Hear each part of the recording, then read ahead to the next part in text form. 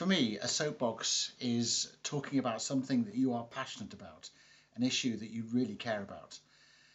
So I must admit, when I was asked to do a soapbox on gratitude, I thought, how do I get passionate about that?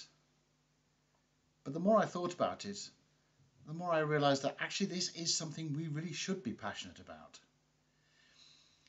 I remember as a young boy being very unimpressed with the gifts I received from my grandmother.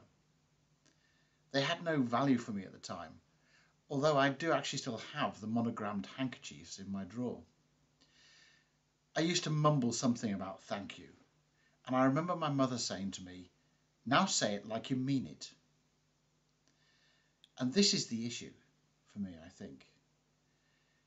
We can say the words really easily.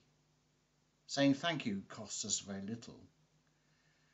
So these words need to be backed up with something, with action, in order to have impact.